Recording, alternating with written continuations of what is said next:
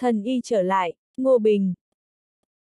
Tập 146 Ngô Bình cười nói, tại sao lại không đi? Quái vật canh giữ linh dược nói không chừng cũng có thể dùng làm thuốc. Vậy là một mũi tên chúng hai đích. Vân thường, nhưng nếu như con quái vật đó quá lợi hại thì sao, anh không sợ gặp nguy hiểm sao? Ngô Bình thản nhiên nói, không sao, anh sẽ tiếp tục tu luyện, hoàn thành việc luyện máu và luyện xương. Vân Thường trong lòng thầm nghĩ ở lại chỗ này tu luyện thì có thể tu luyện được bao nhiêu cơ chứ? Ngô Bình tìm một nơi tương đối sạch sẽ, sai Tam Bạch đi bắt vài con thú rừng rồi đem nướng. Sau khi ăn xong, anh bắt đầu tu luyện đến tầng thứ ba của tu luyện thân thể là luyện máu. Nói đến luyện máu, Ngô Bình là cao thủ, anh đã từng tu luyện thiên huyết kinh. Máu huyết là thứ nuôi dưỡng toàn thân, trong sách hướng dẫn tu luyện chỉ ghi luyện máu có hai tầng. Tầng thứ nhất là huyết khí, tức là tinh lọc ra một lượng nhỏ huyết khí trong máu rồi để nó lưu thông trong kinh mạch. Phải biết rằng, lúc này anh còn chưa luyện khí nhưng huyết khí đã có thể lưu thông trong kinh mạch, nuôi dưỡng kinh mạch và cơ thể. Bản chất của huyết khí trên thực tế gần giống với chân khí, nhưng sức mạnh và tác dụng kém hơn một chút. Tuy nhiên, tích lũy huyết khí là một quá trình rất dài và nhiều người chỉ có thể nuôi dưỡng một chút huyết khí sau vài năm khổ luyện. Tất nhiên, cũng có những người tăng hàm lượng huyết khí trong máu bằng cách uống các loại đan dược như huyết khí đan. Nhưng hậu quả của việc làm như vậy là huyết khí kém, dễ bị cơ thể đào thải nên không phát huy được tác dụng.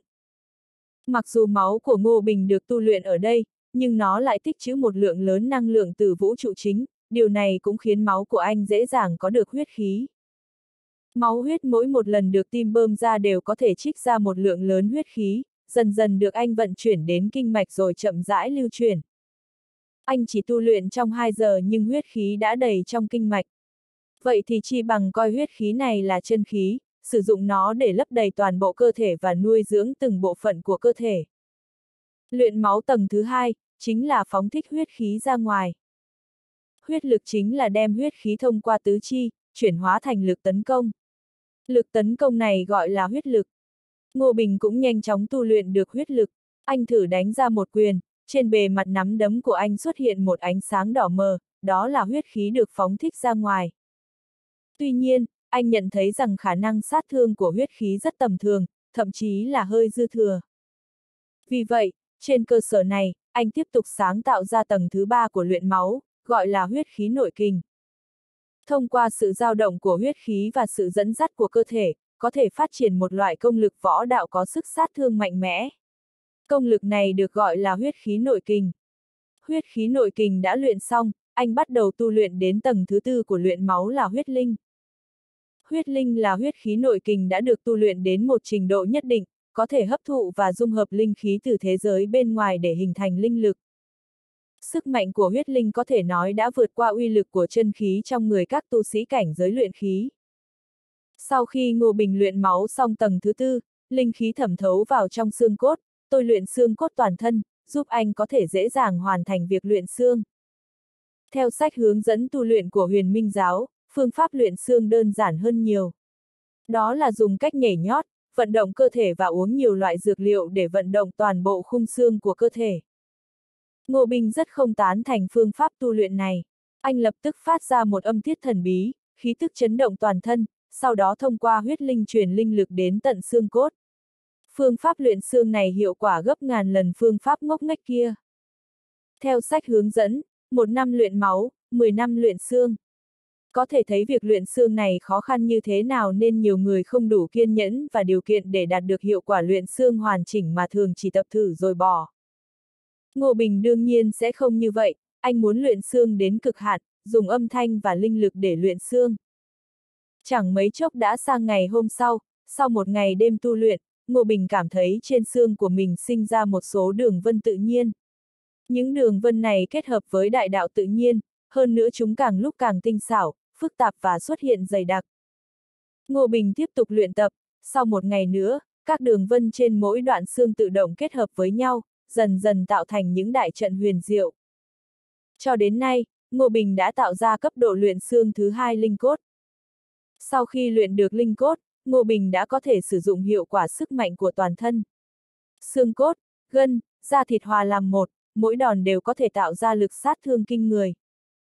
Linh huyết di chuyển khắp toàn thân, Ngô Bình tiếp tục bước vào giai đoạn tiếp theo của tu luyện cơ thể, luyện tủy. Trong đầu anh hiện lên một loạt động tác và anh lập tức thực hiện lần lượt các động tác đó. Mỗi một tư thế đều có thể tác động tới tủy. Sau khi tu luyện mấy canh giờ, trong xương tủy của anh diễn ra rất nhiều sự biến hóa, chức năng của máu cũng được cường hóa, huyết khí càng dồi dào, linh lực càng lúc càng mạnh. Chẳng mấy chốc đã sang tới ngày hôm sau, Ngô Bình chậm rãi mở mắt ra, anh nói với Vân Thường, đi thôi. Vân Thường đã tận mắt nhìn thấy Ngô Bình liên tục đột phá. Từ luyện máu, luyện xương tới luyện tủy. Hơn nữa, nội dung tu luyện của anh dường như hoàn toàn khác so với những gì cô ấy biết. Giờ anh đang ở cảnh giới luyện tủy sao, cô hỏi. Ngô Bình, ừm, đúng là cảnh giới luyện tủy. Vân Thường cảm thấy khó tin, nhưng em cảm thấy khí thức của anh so với đại cao thủ luyện khí cấp 9 còn đáng sợ hơn. Ngô Bình mỉm cười, xuất thử một quyền. Quyền ảnh của anh đánh vào một gốc cây đại thụ cách đó không xa. Một tiếng động lớn vang lên, trên thân cây xuất hiện một lỗ thủng. Vân Thường hít một hơi khí lạnh, thật lợi hại. Ngô Bình nhẹ nhàng thở ra, trong người đột nhiên xuất hiện một ý chí võ đạo đáng sợ. Ý chí này lúc ẩn lúc hiện, khiến cho quyền của anh còn mạnh hơn gấp nhiều lần. Vân Thường, chỉ mới tới cảnh giới luyện tủy mà sức mạnh đã đáng sợ như vậy, đợi khi thông được các khiếu thì không phải càng mạnh sao. Sau khi luyện tủy, chính là luyện khiếu. Theo lời đồn đại, cơ thể con người có 36 thiên khiếu và 72 địa khiếu, nhưng chưa ai có thể hiểu hết về 108 khiếu trên cơ thể con người này. Ví dụ, trong cẩm nang tu luyện của huyền minh giáo chỉ có phương pháp tu luyện 6 địa khiếu và hai thiên khiếu được ghi lại. Có điều, luyện khiếu rất khó. Chỉ cần đả thông được một thiên khiếu và một địa khiếu là xem như hoàn thành nhiệm vụ. Sau khi luyện khiếu xong là tới tầng thứ bảy của việc tu luyện thân thể, tầng này gọi là tiểu luyện hình.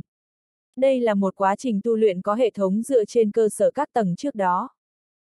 Sau tiểu luyện hình là tầng 8 đại luyện hình, tầng 9 nhật nguyệt song luyện và tầng 10 thiên địa tinh luyện. Có điều, chỉ có trong truyền thuyết mới có người hoàn thành được tầng thứ 10. Trong cẩm nang tu luyện cũng chỉ có mấy dòng ngắn ngủi, thậm chí là viết cả mấy truyền thuyết vào trong đó. Trên thực tế, không ai có thể tu luyện một cách đầy đủ, bài bản từng bước của tu luyện cơ thể. Đa số chỉ tu luyện kiểu cưỡi ngựa xem hoa. Ví dụ như luyện khiếu thì chỉ cần luyện một địa khiếu và một thiên khiếu. Tiểu luyện hình thì cũng không cần có công pháp theo hệ thống làm căn cứ, chỉ cần uống một loại đan dược tên là tiểu luyện hình đan là làm được. Cũng vì cách làm đó mà không ai có được căn cốt vững chắc để đạt tới tầng 10. Ngô Bình thì khác, lúc anh còn ở vũ trụ võ đạo đã từng tu luyện cơ thể bằng phương pháp tương tự tầng 10. Cho nên anh có nền tảng tu luyện và lý luận vững chắc, lại thêm thể chất phi phàm nên anh có thể tu luyện được tuần tự các bước.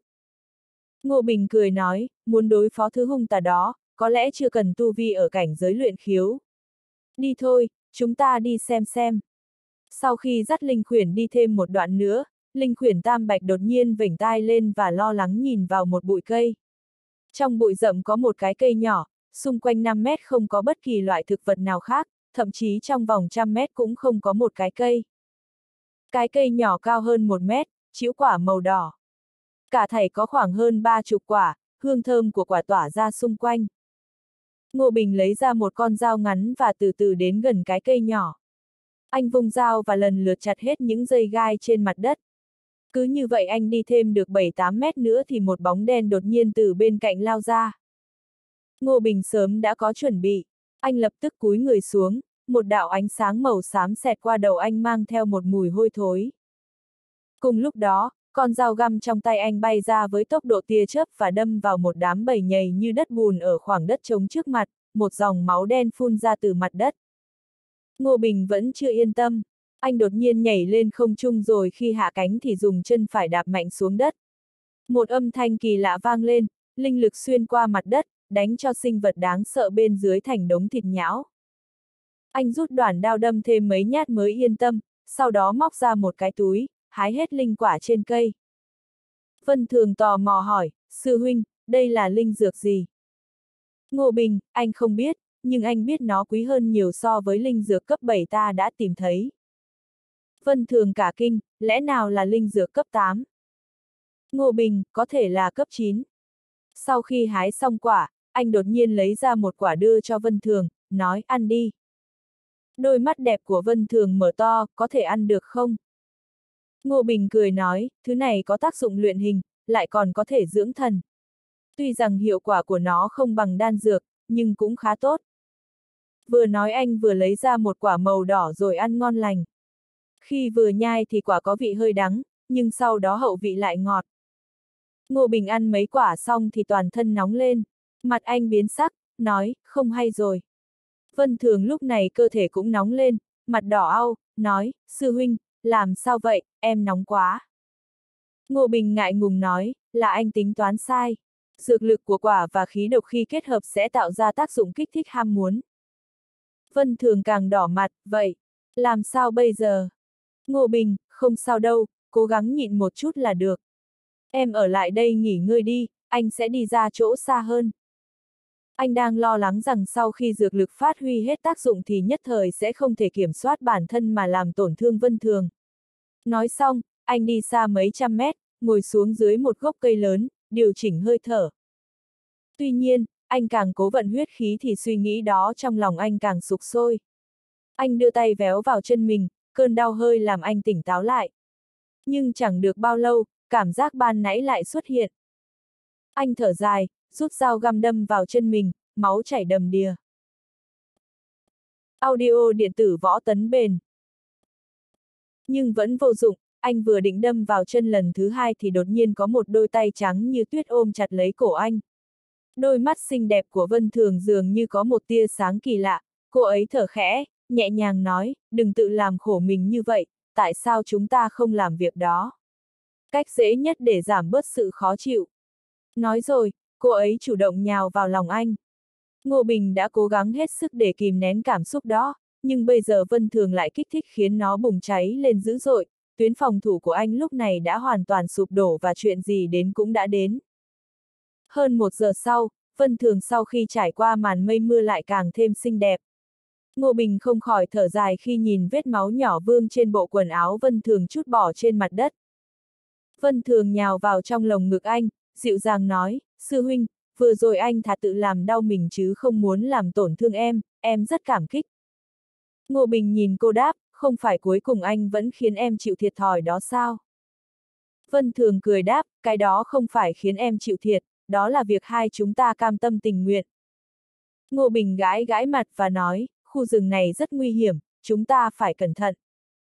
Vừa dứt lời, hai người liền nghe thấy từ xa có tiếng huyết sáo đang nhanh chóng tới gần. Chưa đầy một phút sau, bốn bóng người lao tới. Lúc này, Vân Thường còn đang ngồi trong lòng Ngô Bình, Ngô Bình cũng không đứng dậy mà ngồi yên đó, lãnh đạm nhìn đám người mới đến. Bốn người này tựa hồ đang đuổi theo cái gì? Họ nhìn trái nhìn phải, sau đó phát hiện Ngô Bình đang ở chỗ này, liền hỏi, cậu có nhìn thấy một con chim chỉ năm màu sặc sỡ bay ngang qua đây không? Ngô Bình, không thấy. Thấy Ngô Bình lãnh đạm trả lời, người đàn ông lạnh lùng nói, nhãi danh, cậu tốt nhất nên nói ra sự thật, nếu như dám lừa gạt bọn tôi, tôi sẽ lấy mạng cậu. Ngô Bình ngậm cọng cỏ trong miệng uể oải nói, đúng vậy, tôi lừa gạt ông đó, mau tới giết tôi đi. Người vừa nói vô cùng tức giận, tay phải vung lên, một đạo hàn quang bay thẳng về phía cổ Ngô Bình. Nhãn lực của Ngô Bình rất mạnh, lập tức có thể nhìn ra tia hàn quang này thực chất là một sợi tơ rất mỏng, trên đầu có buộc một quả cầu màu bạc. Nhờ vào lực của quả cầu, nó có thể bay với vận tốc cực nhanh, có thể cứ cổ hoặc làm bị thương kẻ địch. Ngô Bình vươn ngón trỏ phải ra, tăng một tiếng hất quả cầu bạc về phía sau, đồng thời sợi tơ cũng bật trở lại theo. Người đàn ông giật mình và vội vàng thu lại sợi tơ bạc. Ngay khi hắn ta làm động tác rút dây lại, Ngô Bình đã phi ra một con dao găm. Phập! Con dao găm quá nhanh, cộng với sự mất tập trung của người kia nên con dao găm đâm thẳng vào tim hắn ta, máu tươi xối xả chảy ra. Người đàn ông trợn to hai mắt như thể vô cùng không cam tâm rồi ngã xuống đất, nhanh chóng tắt thở. Mặc dù người này đang ở cảnh giới luyện khí nhưng thể chất của hắn ta chỉ ở mức trung bình, dao găm của Ngô Bình được truyền huyết linh khiến hắn không thể nào tự cứu sống bản thân. Ba người còn lại cả kinh, lập tức tỏ ra cảnh giác và lần lượt dơ vũ khí ra. Ngô Bình, các người đuổi theo một con chim chỉ ngũ sắc sao. Cả ba người họ đều thấy rằng Ngô Bình không dễ dây vào. Một người lớn tuổi hơn trong số ba người lên tiếng, anh bạn, chúng tôi không có ý định gây thù với cậu. Ngô Bình hờ hững đáp, các người còn chưa trả lời câu hỏi của tôi. Người đàn ông kia nói, nói cho cậu biết cũng chẳng sao. Con chim chỉ ngũ sắc đó là linh thú, nó đẻ ra trứng gọi là ngũ sắc linh tử, là linh dược cấp 10. Ngô Bình, một con linh thú có thể đẻ ra linh dược cấp 10 nhất định rất có giá đúng không? Anh nhìn về phía Vân Thường. Vân Thường gật đầu như bổ củi, đương nhiên. Danh tiếng của chim chỉ ngũ sắc đến em cũng biết. Bất cứ ai sở hữu một con chim chỉ ngũ sắc như vậy thì chẳng khác nào sở hữu một cây tiền. Ba người kia nói, anh bạn, bạn đồng hành của chúng tôi là người ra tay trước, bị giết cũng đáng đời. Nhưng xin cho phép chúng tôi mang xác anh ta đi chôn cất đàng hoàng. Ngô Bình không có hứng thú với những người này, sau khi thu lấy sợi tơ mỏng, anh lạnh lùng nói, làm mau lên. Ba người kia nhanh chóng nâng đồng đội của mình lên và rời đi theo hướng ngược lại. Ngay sau khi những người này rời đi, Ngô Bình lập tức quay trở lại chỗ cái cây nhỏ ban nãy. Anh dùng dao găm đào đất, chẳng mấy chốc đã đào ra một tấm da bóng loáng màu xám. Thứ này chính là thứ kỳ quái nấp dưới lòng đất lúc trước, nó có thể phun cát độc hại người. Vân Thường nhìn tấm da, tò mò hỏi, tại sao chỉ có da? Ngô Bình, mảnh da này là bộ phận mạnh nhất của con quái thú. Nó chứa độc khí mạnh, vì vậy nó cũng là linh dược để khắc chế độc tố. Nếu sử dụng nó để luyện chế thuốc chống độc, thậm chí có thể đi rất sâu vào trong rừng xương độc. Hiện tại hai người vẫn chỉ ở bìa rừng xương độc, không dám tiến quá sâu vào trong đó bởi vì bên trong có những con hung thú rất đáng sợ, độc khí thì nồng nặc vượt quá khả năng đối phó của bọn họ. Sau khi cất tấm da thú đi, Ngô Bình liền đi xung quanh một lát, kết quả phát hiện ra một cọng lông ngũ sắc. Sau khi quan sát một lúc, anh lập tức gọi Linh Khuyển đến, cho nó ngửi một cái rồi nói, Tam Bạch, mau đi tìm cho tao một con chim chỉ ngũ sắc, sau khi mày tìm được sẽ có phần thưởng lớn. Tam Bạch tai đã dựng đứng lên, mũi khịt khịt mấy cái rồi lao về một hướng, theo sau là Ngô Bình và Vân Thường. Chạy hơn 10 dặm, Linh Khuyển đột nhiên giảm tốc độ, cả người áp sát mặt đất, hai chân gión rén đi về phía trước như thể sợ kinh động đến thứ gì. Ngô Bình đứng cao hơn nên nhìn thấy cách đó khoảng hơn 100 mét có một con chim chỉ ngũ sắc đang đứng trên một cái cây lớn. Nó đang nhìn trái nhìn phải, như thể đang tìm kiếm kẻ thù. Linh khuyển mặc dù di chuyển rất nhanh nhưng chim chỉ vẫn phát hiện ra nó. Chim chỉ phát ra âm thanh giống như diễu cợt, rồi đột nhiên giang rộng đôi cánh bay lên cao. Đúng vậy, con chim trĩ này có thể bay, hơn nữa tốc độ còn khá nhanh. Tưởng chừng đã muộn, nhưng ngay lập tức, Ngô Bình đã ném ra quả cầu bạc được buộc vào sợi tơ mỏng ban nãy. Quả cầu bạc nhanh như chớp, cuốn ngay vào chân chim trĩ. Ngay khi chim trĩ bay được vài mét, nó bất ngờ bị lôi xuống, về phía Ngô Bình. Nó vùng vẫy một cách tuyệt vọng, nhưng Ngô Bình rất mạnh nên chẳng mấy chốc nó đã bị lôi xuống. Sau cùng, một bàn tay to lớn đã túm lấy cổ nó. Ngô Bình bỏ nó vào túi, cười nói, đừng dẫy dụa, sau này ta làm cho người một cái chuồng thật đẹp. Linh khuyển không lập được công trạng gì, không khỏi cúi đầu ủ rũ. Ngô Bình nói, Tam Bạch, mày đã làm rất tốt. Nếu không có mày, tao sẽ không thể tìm thấy con chim chỉ ngũ sắc này. Tam Bạch lại híp mắt vào, vui vẻ vẫy đuôi. Vân Thường nói, sư huynh, em thấy được rồi đó. Chúng ta đã lấy được nhiều linh dược như vậy, giờ có thể trở về làm ăn rồi. Ngô Bình cũng biết thế nào là đủ nên gật đầu đồng ý, được, chúng ta trở về đi, trên đường về tiện tìm thêm chút linh dược. Cứ như vậy, hai người vừa đi vừa tìm kiếm thêm linh dược, ước chừng nửa ngày sau mới trở lại bìa rừng. Sau khi đi ra khỏi rừng xương độc, rất nhiều người từ thị trấn nhỏ chạy ra, lần lượt hỏi, anh bạn, có linh dược bán không? Giá chúng tôi đưa ra rất hợp lý, đảm bảo cậu hài lòng. Ngô Bình bỏ gần hết linh dược vào trong nhẫn chữ đồ, trong túi chỉ còn hai ba loại linh dược cấp thấp. Anh lập tức nói, tôi có thể bán cho ông, nhưng giá cả phải hợp lý. Đối phương vui mừng khôn xiết, nói muốn xem linh dược. Hai bên mặc cả một hồi, Ngô Bình bán được mấy cây linh dược với giá hời. Về phần linh dược còn lại, anh đương nhiên sẽ không bán, dù sao về sau còn phải luyện chế đan dược. Sau khi bán xong linh dược, Ngô Bình phát hiện trong thị trấn có một nhà hàng rất đông khách, bên ngoài còn có hàng dài khách đang xếp hàng chờ. Anh không khỏi thốt lên, nhà hàng này làm ăn tốt thật đấy. Vân Thường cười nói, người vừa mới ra khỏi rừng xương độc đều muốn có một bữa ăn ngon lành nên việc làm ăn của nhà hàng này đương nhiên rất tốt. Ngô Bình liếc nhìn, nói, đúng vậy, mấy ngày nay chúng ta đi loanh quanh, ngày nào cũng ăn thịt nướng ngấy quá rồi. Đi thôi, vào gọi mấy món ăn. Hai người đến xếp hàng ở cửa nhà hàng. Họ xếp hàng được hơn 10 phút thì một đám người ăn mặc lộng lẫy đi tới, không xếp hàng mà đứng luôn ở phía trước. Những người phía sau lập tức bất mãn, nhưng nhìn thấy khí thế của những người này, bọn họ cũng không dám lên tiếng. Ngô Bình nhíu mày, anh đợi đã lâu, sao có thể cho phép người khác chen vào hàng. Vì vậy, anh lập tức ra đứng trước mặt những người kia. Mấy người kia lập tức nổi giận, một người vươn tay nắm lấy bả vai anh, lạnh lùng nói, danh con, muốn chết sao? Nhưng khi bàn tay vừa chạm tới, Ngô Bình đột nhiên nắm lấy tay anh ta rồi nghiêng người quật anh ta xuống đất. Người kia đau đến há hốc miệng, hồi lâu không thể kêu thành tiếng. Những người còn lại vô cùng tức giận và động thủ với anh nhưng đều bị anh hạ gục rồi ném vào thùng rác cách đó hàng chục mét. Một số người rên rỉ trong đau đớn, không thể đứng dậy. Ngô Bình phủi phủi tay, đang định trở về vị trí xếp hàng ban đầu thì người phía sau vội vàng cười nói, đại ca, mời đi trước. Ngô Bình cười đáp, chen hàng như vậy không hay lắm thì phải. Mọi người cũng rất ghét những người chen vào xếp hàng trước đó và họ rất vui khi thấy Ngô Bình dạy cho đám người kia một bài học nên những người đằng sau đều vui vẻ nói, không có gì, xin mời anh vào trước. Ngô Bình chắp tay cảm ơn họ, sau đó đưa Vân Thường đi lên lầu. Trên lầu năm vẫn còn chỗ, Ngô Bình và Vân Thường chọn một chiếc bàn cạnh cửa sổ rồi ngồi xuống. Phục vụ đưa thực đơn đến, Ngô Bình chăm chú nhìn vào thực đơn và nói, Vân Thường, đồ ăn ở đây đắt thật đấy. Món ăn rẻ nhất ở đây có giá 300 tinh tệ, món đắt nhất lên tới vài nghìn. Vậy là chỉ gọi vài món là mất mấy chục nghìn tinh tệ.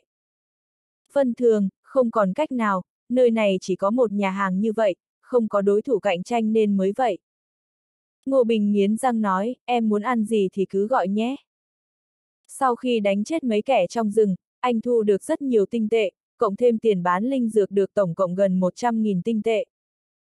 Vân Thường gọi ba món ăn, Ngô Bình gọi thêm ba món nữa rồi thêm một món canh, tổng cộng tiêu tốn hơn 12.000 tinh tệ. Một lúc sau, các món ăn được bưng ra, Ngô Bình nếm thử mùi vị thấy cũng không tệ. Nguyên liệu đều là đồ tươi sống trong rừng, đầu bếp tay nghề cũng tốt. Hai người nhanh chóng ăn hết mấy món, đang định uống nốt canh thì phía dưới nhà hàng truyền đến tiếng bước chân vội vã, một đám người ở dưới lầu, lớn tiếng quát kẻ nào dám đả thương đệ tử của vô ảnh môn chúng ta. Mau cút ra đây chịu chết đi. Ngô Bình nhìn thấy một vài kẻ đã chen hàng trước đó đều ở bên trong, hóa ra họ đều đến từ vô ảnh môn. Vân Thường có chút lo lắng, nói, sư huynh, vô ảnh môn thực lực mặc dù không bằng huyền minh giáo, nhưng cũng là thế lực rất mạnh. Đám người này đông quá, cho nên chúng ta cứ nên chuồn là thượng sách. Nhìn thoáng qua, Ngô Bình phát hiện ra rằng người mạnh nhất trong số những kẻ đó đang ở cảnh giới luyện khí, có lẽ là ở tầng thứ 8 hoặc thứ 9. Nhưng anh không sợ, một là anh là đệ tử huyền minh giáo, hai là anh chắc chắn đủ mạnh để đánh bại đám người này. Anh nói, đừng sợ, đám rác rưởi này còn chưa uy hiếp được anh. Nói xong, anh đứng dậy, nhảy xuống từ cửa sổ. Anh trực tiếp đáp xuống trước mặt đám người này, thản nhiên nói, người là do tôi đánh, các ngươi không phục sao. Người vừa quát lên là một người đàn ông trung niên có tu vi ở cảnh giới luyện khí cấp 8, ông ta nhìn Ngô Bình từ trên xuống dưới rồi hỏi, danh con, cậu là ai? Ngô Bình, huyền minh giáo đệ tử, Ngô Bình. Hừ, đệ tử huyền minh giáo thì sao? Một trong những người bị cậu đả thương là con trai của trưởng lão vô ảnh môn chúng tôi. Ngô Bình cười nói, con trai của trưởng lão thật vô dụng, vô ảnh môn của ông quá yếu. Người đàn ông trung niên giận dữ, cậu quá kiêu ngạo. Ngô Bình cao mày, đừng nói nhảm nữa, ông không phải muốn đứng ra bênh vực hắn sao. Tôi cho các người một cơ hội, các người cùng xông lên, nếu như tôi thua, tôi sẽ làm theo ý các người. Đương nhiên, nếu các người đánh không lại tôi thì phải dùng tiền chuộc thân, tu vi càng cao, tiền chuộc càng cao. Khi mọi người nghe nói sắp có chuyện hay ho để xem thì lập tức túm tụm lại hóng hớt. Có người theo dõi còn hét lên, được, chúng tôi sẽ làm công chứng viên cho cậu. Người đàn ông trung niên vốn định xông lên đánh ngã Ngô Bình, nhưng bây giờ nghe anh nói như vậy thì cười lạnh nói, được. Nếu cậu đã tự tin như vậy thì chúng tôi sẽ cùng xông lên. Lập tức, nhóm người này xông tới, có người đấm, có người đá, có người vung dao, có người đẩy ngã, có người ôm eo, giữ vai Ngô Bình. Ngô Bình mặc cho bọn họ vây lấy mình. Sau đó anh lắc vai, linh huyết bộc phát khiến cả đám người bị đánh bay xa hơn 10 mét. Người đàn ông trung niên bị ném ra xa vài mét. Ông ta vừa vừa đứng vững trở lại thì Ngô Bình đã tới, đạp lên ngực ông ta, hỏi ông có bao nhiêu tiền. Người đàn ông trung niên cảm thấy lồng ngực đau nhói, há miệng phun ra một ngụm máu tươi, nói cậu dám động vào tôi. Giác! Ngô Bình đạp gãy chân ông ta và nói, tôi dám đấy. Người đàn ông trung niên đau đớn kêu lên, tôi có tiền. Ngô Bình mỉm cười và nói, thế mới phải chứ. Ông đang luyện khí ở cấp độ thứ 8. Vậy hãy đưa cho tôi 300.000 tinh tệ để chuộc lỗi. Người đàn ông trung niên ngoan ngoãn móc trong túi ra khoảng 400.000 tinh tệ. Ngô Bình liếc nhìn, cất hết tiền rồi đuổi ông ta đi, sau đó anh đi đòi tiền chuộc của người thứ hai. Cuối cùng, anh thu được hơn một triệu rưỡi tinh tệ. Sau khi lấy tiền, anh gọi Vân Thường rồi thuê một chiếc phi thuyền để quay lại huyền minh giáo. Sau khi tàu phi thuyền cất cánh, anh hỏi, Vân Thường, em có biết lò luyện đan ở đâu bán không? Tuy rằng anh có trong tay không ít lò luyện đan, nhưng nơi này là vũ trụ đạo cảnh, lò luyện đan trước đó đã mất tác dụng nên anh phải mua cái mới. Vân Thường, em biết, nhưng lò đan quá khan hiếm, chỉ có một số ít thế lực mới có năng lực chế tạo ra nó. Cho dù là một cái bình thường đã qua sử dụng cũng tốn mấy trăm triệu tinh tệ. Hàng trăm triệu tinh tệ. Ngô Bình chố mắt, đắt quá. Vân thường, không còn cách nào, dù sao đan sư quá ít, tiêu chuẩn quá cao. Ngô Bình thở dài, vậy thì không còn cách nào khác. Ân thường đột nhiên nghĩ tới một chuyện, nói, sư huynh, huyền minh giáo có một cửa hàng đồ cũ. Ở đó có một lò luyện đan, có điều bị hư hại nhiều. Nghe nói từng có một vị đan sư tới xem nhưng không thể nào sửa được. Ngô Bình, ồ, lò đan hỏng ư, bao nhiêu tiền? Cũng không đắt, cơ bản là bán phế liệu thôi, một triệu tinh tệ. Ngô Bình đáp, anh hiện tại mua không nổi một cái lò luyện đan tốt, chúng ta đi xem một chút cái lò đan hỏng đi. Rất nhanh, phi thuyền đã đưa họ trở lại gần huyền minh giáo. Hai người họ đi trải nhiệm vụ trước, giao hai quả ngọc chân cho huyền minh giáo để đổi lấy 10.000 tiền huyền minh. Sức mua của tiền huyền minh không tốt bằng tinh tệ, nhưng chúng rất hữu ích trong huyền minh giáo, vì vậy Ngô Bình quyết định tiết kiệm một ít. Sau khi trả xong nhiệm vụ thì trời đã tối. Khi hai người về đến nhà, Diệp Phúc đi tới và nói, chủ nhân, có người tự xưng là nhị sư huynh của chủ nhân đã đến tìm. Ngô Bình, khi nào? Diệp Phúc, sáng hôm qua, người đó nhờ tôi nói với chủ nhân tối nay có yến tiệc, nếu chủ nhân trở về, hy vọng có thể tham dự. Phân Thường, nhị sư huynh tên Văn Lương, người này giao tiếp tốt, chưa bao giờ làm chuyện vô nghĩa, nhất định là đang muốn tạo quan hệ với sư huynh. Ngô Bình, muộn như vậy rồi, tôi không đi. Anh đưa linh khuyển cho Trương Toàn và nhờ anh ta chăm sóc nó. Đêm đó, anh bắt đầu luyện khiếu. Việc luyện khiếu được chia thành luyện thiên khiếu và luyện địa khiếu. Anh bắt đầu từ địa khiếu trước. Số lượng địa khiếu được ghi trong cẩm nang tu luyện là có hạn, chỉ là một số ít, nhưng điều này không làm khó được Ngô Bình. Cho dù đó là vũ trụ đạo cảnh hay vũ trụ chấn đán thì những thay đổi trong cơ thể con người không lớn, vì vậy anh quyết định tự mình khám phá các khiếu trên cơ thể. Anh khoanh chân ngồi xuống, đại trận vũ trụ phóng thích ra năng lượng hóa thành vô số sợi tơ, luân chuyển trong cơ thể anh. Theo sự hiểu biết của anh về các khiếu, địa khiếu thường là trung tâm truyền năng lượng cơ thể, tương tự như linh khiếu mà anh đã mở năm xưa. Chẳng mấy chốc, tại một vị trí trên cơ thể anh, dòng năng lượng bắt đầu vặn vẹo biến hóa. Ngô Bình lập tức khóa chặt khu vực này, linh lực thẩm thấu vào đó, tìm kiếm lối vào của địa khiếu. Anh lấy ra một miếng bạc tốt và đâm nhẹ vài lần vào khu vực này, sau đó một ánh sáng vàng nhẹ tỏa ra. Thế là anh dồn hết linh huyết đi vào điểm phát ra ánh sáng vàng. Linh huyết ngưng tụ thành dạng thanh mảnh giống như đầu kim, đâm vào điểm ánh sáng vàng tỏa ra.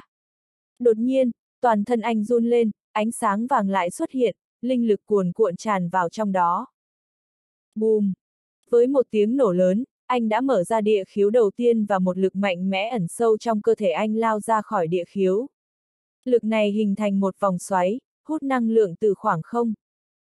Vì vậy, trong hư không, một luồng lực từ vũ trụ chính trực tiếp xuất hiện ở địa khiếu, sau đó thông qua địa khiếu phóng thích ra ngoài, đi khắp cơ thể Ngô Bình, rèn luyện thể chất của anh. Rất dễ chịu, Ngô Bình thở dài một hơi, chậm rãi nằm xuống hưởng thụ cảm giác linh khí nuôi dưỡng cơ thể. Một giờ sau, anh lại ngồi dậy và tiếp tục khám phá địa khiếu thứ hai. Với kinh nghiệm lần trước, anh nhanh chóng mở ra địa khiếu thứ hai và một năng lượng khác từ vũ trụ chính bắt đầu rót vào cơ thể anh. Điều đáng kinh ngạc là sau khi hai nguồn năng lượng của vũ trụ chính gặp nhau, chúng bắt đầu dung hòa một cách hoàn hảo, dường như chúng vốn thuộc về cùng một nguồn năng lượng nhưng lại bị một thế lực thần bí nào đó ngăn cách. Cảm nhận được sự thay đổi của hai loại linh khí, Ngô Bình như có điều suy nghĩ rồi tự nhủ, lẽ nào hai loại linh khí này đều thuộc cùng một loại linh khí, nhưng vì lý do gì đó nên mới tách nhau ra ư. Nghĩ đến khả năng này, anh sáng mắt lên rồi lập tức tìm tòi địa khiếu thứ ba. Cứ thế, Ngô Bình không biết mệt mỏi liên tục đả thông địa khiếu thứ ba, thứ tư cho đến địa khiếu thứ 12 thì mới đành dừng lại, vì sức lực đã cạn. Đúng như anh đoán, 12 loại linh khí mà 12 địa khiếu hấp thu đã dung hợp hoàn toàn thành một loại linh khí mới. Hơn nữa, linh khí dung hợp càng nhiều thì linh khí mới càng ảo diệu, uy lực cũng càng mạnh. Nếu mình dung hợp hết 36 linh khí địa khiếu thì sẽ hình thành được bao nhiêu linh khí mạnh mẽ nhỉ, nghĩ đến đây, mắt Ngô Bình sáng lên. Nhưng anh đã quá mệt rồi nên đành phải nghỉ ngơi thôi. Anh mở cửa ra thì mới phát hiện Vân Thường đang đứng bên ngoài. Lúc này, mặt trời vừa ló dạng rồi chiếu tia nắng xuống mặt cô ấy, khiến dung nhan càng thêm tuyệt sắc. Ngô Bình không khỏi thấy nhộn nhạo, sau đó ôm lấy cô ấy vào lòng rồi kéo vào trong phòng, sau đó hất chân đóng cửa. Vân Thường hô lên, nhưng không hề có ý phản kháng, cô ấy dịu dàng nói, sư huynh, trời sáng rồi, tối em cho anh được không? Ngô Bình ôm cô ấy rồi hỏi, tại sao phải chờ đến tối? Vân Thường, anh đã tu hành một lèo ba ngày rồi, đến nay vừa hay là ngày đệ tử chân truyền khảo hạch. Ngô Bình ngẩn ra hỏi, khảo hạch gì thế? Vân Thường, đệ tử chân truyền cũng có các ngưỡng mà, bắt đầu tính từ thời gian gia nhập môn phái, cách một thời gian phái tiến bộ một lần, không thì sẽ bị loại ra khỏi hàng đệ tử chân truyền. Tuy sư huynh là đệ tử thân truyền, nhưng cũng ở trong hàng đệ tử chân truyền, vì thế vẫn phải tham gia khảo hạch. Ngô Bình, anh gia nhập môn phái bao lâu rồi nhỉ? Vân Thường, anh quên rồi à? Khi em đi đăng ký với anh, anh bảo đã gia nhập được hơn 2 tháng rồi mà, hơn nữa khi anh bái sư thì đã ở cảnh giới tôi thể rồi. Bây giờ cách lúc đó cũng khoảng 3 tháng, theo tiêu chuẩn của của đệ tử chân truyền thì anh buộc phải đạt đến tầng thứ 6 cảnh giới tôi thể rồi. Ngô Bình, tầng thứ 6 tôi thể ư, anh cũng vừa tới đó. phân Thường, tuy anh đã đạt đến tầng ấy rồi, nhưng kiểm tra của tầng này cũng khó lắm. Hơn nữa, hôm nay là ngày mồng 7, chắc sẽ có đệ tử khiếu chiến sư huynh đấy. Ngô Bình nghĩ đến người tên là Trương Siêu, sau đó cười lạnh một tiếng, khiêu chiến anh Á. Tốt thôi, anh đang muốn thả lỏng gân cốt chút đây.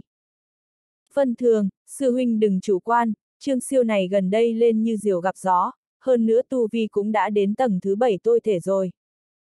Tầng thứ bảy của tôi thể là tiểu luyện hình, thể chất của tu sĩ ở cảnh giới này tu luyện khá theo hệ thống, thực lực cũng vượt xa tu sĩ ở cảnh giới luyện khiếu. Ngô Bình thờ ơ nói, Vân Thường, em có tin anh có thể đánh bại 10 tên như hắn bằng một tay không? Vân Thường ngẩn ra rồi phì cười, em tin. Ngô Bình, đi thôi, đi tham gia khảo hạch của đệ tử chân truyền nào. Vâng. Hai người đi tới quảng trường diễn ra khảo hạch của đệ tử chân truyền, lúc này các đệ tử chân truyền đều đang tụng năm tụng ba ở đây, có ba dụng cụ kiểm tra đặt giữa quảng trường. Mọi người đều đứng kín cạnh các dụng cụ kiểm tra, ai kiểm tra xong cũng được các đệ tử khác vây quanh để hỏi thăm, có người chê cười, có người tán thưởng. Phân thường, sư huynh, khảo hạch ở cảnh giới tôi thể gồm các phần là thể chất, sức mạnh, tiềm lực. Anh ở tầng thứ 6 thì cũng phải đạt điểm tiêu chuẩn ở mỗi vòng thì mới qua được. Họ đang nói chuyện thì chợt có người ở phía sau lên tiếng, Vân sư muội, mấy ngày qua không thấy em đâu, ra là em tìm thấy người thương rồi. Vân thường nghe thấy giọng nói này xong thì tái mặt, cô ấy quay lại rồi cúi người xuống, lễ phép chào hỏi, trình sư huynh. Nghe thấy có người nói Vân Thường như vậy, Ngô Bình nhíu mày, sau đó cũng quay lại thì nhìn thấy một người đàn ông mặt vàng khoảng 25, 26 tuổi đang đứng phía sau, hắn ta mặc trường bào màu tím, còn vẻ mặt thì có vẻ cười cợt nhìn anh. Hắn ta cười mỉa, một đệ tử chân truyền cấp 2 như anh muốn kết đôi với em mà em còn từ chối, sau đó lại chung đụng với cái thằng rẻ rách này, em cố ý chọc tức anh đúng không?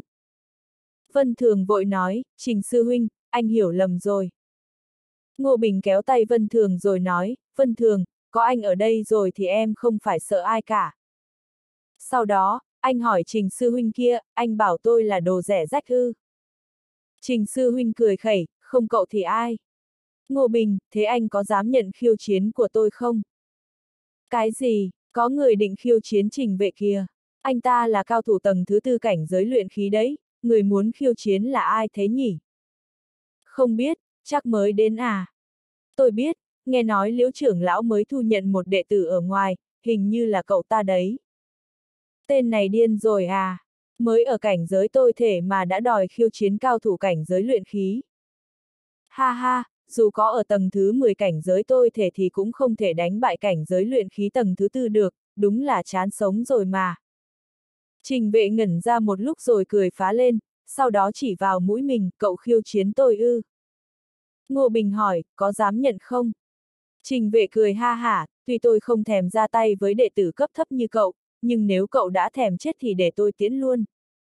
Ngô Bình, vậy là anh nhận khiêu chiến của tôi rồi đấy. Được, tôi phải đi kiểm tra đã, xong việc tôi sẽ đến tìm anh. Trình vệ phì cười, này, tôi không biết cậu lấy đâu ra tự tin cùng dũng khí như thế, nhưng tôi rất thích kiểu người như cậu. Được, tôi chờ. Trình sư huynh, loại như hắn đâu đáng để anh ra tay. Để em thay anh, đột nhiên có người lên tiếng, Trương Siêu đã xuất hiện. Lần trước, Trương Siêu cũng đòi khiêu chiến Ngô Bình. Bây giờ thấy anh và trình vệ có xung đột nên lập tức nhảy ra, như vậy vừa có thể đánh bại Ngô Bình, mà vừa lấy lòng được đệ tử chân truyền có địa vị trong môn phái là trình vệ. Trình vệ nhìn Trương Siêu rồi gật đầu, cũng được. Một đệ tử chân truyền cảnh giới tôi thể như Ngô Bình muốn khiêu chiến trình vệ, tin này truyền đi rất nhanh, cả đám người đã súm lại xem, thậm chí có cả trưởng lão. Để sớm được xem trò hay, các đệ tử chân truyền khác đều nhường cho Ngô Bình lên kiểm tra trước. Ha ha, khiêu chiến cao thủ luyện khí cơ à, tôi cực là hắn không đỡ nổi một chiêu. Nếu mà không qua được bài kiểm tra thì còn buồn cười nữa. Đúng thế, tôi thể đòi đánh luyện khí thì sao mà thắng được. Như châu chấu đá xe ấy, thua là cái chắc rồi. Khéo còn thua cả trương siêu ấy chứ. Ngô Bình mặc kệ những lời bàn tán của họ, anh đến trước dụng cụ kiểm tra thứ nhất là một cái cột. Các đệ tử trước đó hầu như đều qua vòng này, với tầng cảnh giới như Ngô Bình thì bét nhất cũng phải đạt tiêu chuẩn là 1.500 cân. Hầu hết mọi người đều đạt đến 2, 3.000 cân, nhiều người giỏi hơn thì 5, 6.000 cân, thành tích cao nhất ở vòng này là 7.600 cân. Đương nhiên nếu tu sĩ tham gia đã ở tầng thứ 6 tôi thể thì điểm tiêu chuẩn sẽ khác. Ngô Bình đi đến gần cây cột rồi tung một cú đấm vào đó, anh chưa dùng hết sức mà đã nghe thấy một tiếng động lớn, mặt cây cột phát sáng liên tục, sau đó hiện ra một hàng các con số là 97.580 cân. Ngay khi dãy số xuất hiện, tất cả mọi người đều ngẩn ra. Tôi không nhìn nhầm đấy chứ, hơn 90.000 ư. Hình như thế, ôi trời! Mẹ ơi, hơn 90.000 đấy, đến tu sĩ tầng thứ 10 tôi thể cũng không đạt con số này được đâu. Ngô Bình cũng ngẩn ra, anh không ngờ mình chỉ đấm bừa một cú mà đã mạnh đến vậy, xem ra là do anh đã tu luyện địa khiếu. Trương Siêu cũng nghệt mặt ra, hơn 90.000 cân. Hắn đã kiểm tra vòng này rồi, hắn ở tầng thứ 7 tôi thể mà đấm hết sức mới chỉ được 9.500 cân thôi. Điều này có nghĩa là Ngô Bình mạnh hơn hắn 10 lần, thế thì còn khiêu chiến gì nữa? Hắn đảo mắt rồi dần lùi lại. Vân Thường đã chú ý đến hành động của hắn nên nói, Trương Sư Huynh, anh chuẩn bị khiêu chiến Ngô Bình cơ mà. Giờ lại định đi đâu thế? Trương Siêu dừng hình rồi cười ngượng nói, đâu, tôi đi vệ sinh chút ấy mà. Mọi người xung quanh đều phản ứng lại rồi dè biểu hắn ra mặt, đã hẹn nhau khiêu chiến rồi giờ lại chuồn, chắc sợ rồi. Có mấy đệ tử chân truyền chỉ muốn đổ thêm dầu vào lửa nên đã chặn đường Trương Siêu, một người đàn ông cao lớn cười mỉa, Trương Sư Đệ, đi vệ sinh thì lúc nào đi chẳng được. Cậu nhịn chút đi, chờ ngô sư đệ kiểm tra xong thì cậu phải khiêu chiến cậu ấy ngay. Trương siêu nhăn mặt, địa vị của người đàn ông này còn cao hơn cả trình vệ, anh ta là cao hải đệ tử chân truyền cấp 1, đại cao thủ tầng thứ 8 cảnh giới luyện khí, thực lực khỏi phải bàn. Vì thế Trương Siêu đành phải khúm núm rồi gật đầu. Cao Hải mỉm cười đi đến gần cột kiểm tra rồi vỗ vai Ngô Bình, sư đệ, thần lực của chú không kém gì anh đâu, anh hơi bị phục chú đấy. Cao Hải này nổi tiếng nhờ sức mạnh, nhưng sau khi chứng kiến điểm số của Ngô Bình thì cũng phải ngạc nhiên rồi ngả mũ thán phục. Ngô Bình cười nói, sư huynh quá khen. Cao Hải, đừng khách sáo, chú kiểm tra tiếp đi, bọn anh đang rất mong chờ vào màn biểu hiện tiếp theo của chú đấy. Anh ta chỉ vào dụng cụ kiểm tra thứ hai, đó là một vật hình vuông có màu đen, bên trên có cột như cán cờ, cây thước dài khoảng chục mét, phần thấp nhất là số 0, cao nhất là 1 triệu. Phân Thường, Sư Huynh, đây là dụng cụ kiểm tra tiềm lực, nó tên là thước đại tiềm. Thước này có 4 đoạn, đoạn thấp nhất là từ 0 đến 5.000, đây là mức bình thường và tỏa ra ánh sáng trắng. Đoạn từ 3.000 đến 50.000 là mức trung và ánh sáng xanh. Hầu hết các đệ tử chân truyền đều đạt đến đoạn này. Tiếp nữa là từ 50.000 đến 150.000, đây là mức thượng đẳng và có ánh sáng tím. Trên ánh sáng tím là 150.000 đến 1 triệu và phát ra ánh sáng vàng, ai phát ra được ánh sáng này thì sẽ có tư chất của thiên kiêu. Ngô Bình nghe xong thì hỏi, tư chất tốt nhất của huyền minh giáo mình là đạt đến số bao nhiêu? Cao Hải cười đáp, nhiều năm về trước, chúng ta cũng có một thiên tài, điểm tiềm lực của người đó đạt đến 145.000, thiếu chút nữa là phát được ánh sáng vàng và thành thiên kiêu rồi. Nhưng người đó cũng mạnh lắm, về sau đã trở thành nhân vật lớn của huyền minh giáo ta, suýt được làm giáo chủ nữa đấy. Ngô Bình ngẫm nghĩ thì thấy mình có thể tỏa sáng, nhưng không thể làm quá được. Anh giơ tay rồi cầm vào cây thước ấy, vài giây sau, đoạn dưới của thước bắt đầu phát sáng rồi cứ thế hướng lên trên. Điểm tiềm lực từ không tăng dần đến 3.000, nhưng con số vẫn không dừng lại mà vẫn tăng tiếp lên 10.000, 20.000, 30.000, cuối cùng là trên 50.000. Nhìn đi, ánh sáng tím rồi. Mọi người đều kinh ngạc, Cao Hải và Trình Vệ cũng không thể rời mắt. Đệ tử có thể đạt đến đoạn phát ánh sáng tím đã hơn 20 năm chưa xuất hiện, quả nhiên người mới này là một thiên tài. Điểm vẫn tăng tiếp đến con số 100.000, Ngô Bình bắt đầu nới lỏng tay, gần như không chạm vào cái thước nữa thì điểm tiềm lực mới dừng lại ở con số 101.000. 101.000, thiên tài, huyền minh giáo lại có một thiên tài nữa rồi, tất cả mọi người đều hô lên.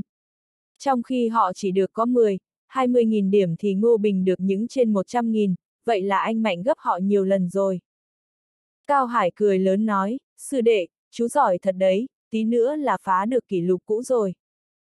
Ngô Bình nói, điểm của em còn cách 140.000 điểm xa lắm, sao mà so được ạ? À? Cao Hải, thế là giỏi lắm rồi, sư đệ, cậu mau sang kiểm tra vòng cuối đi. Vòng sức chịu đựng này là khó nhất, nhiều người rõ là thiên tài mà sức chịu đựng lại kém. Ví dụ như thiên tài có gần 150.000 điểm tiềm lực ngày xưa ấy, sức chịu đựng không cao đâu, chỉ trên tầm trung thôi. Nghe thấy thế, Ngô Bình cũng hơi tò mò, anh muốn biết sức chịu đựng của mình đến đâu nên đi sang phía dụng cụ kiểm tra thứ ba luôn. Dụng cụ này là một cái ghế, bên trên có khắc phù văn kỳ dị.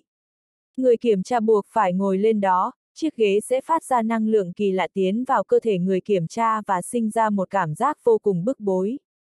Quá trình kiểm tra sẽ vô cùng khó chịu, vì thế các đệ tử chân truyền đều không muốn kiểm tra quá lâu nên thành tích đều không được cao.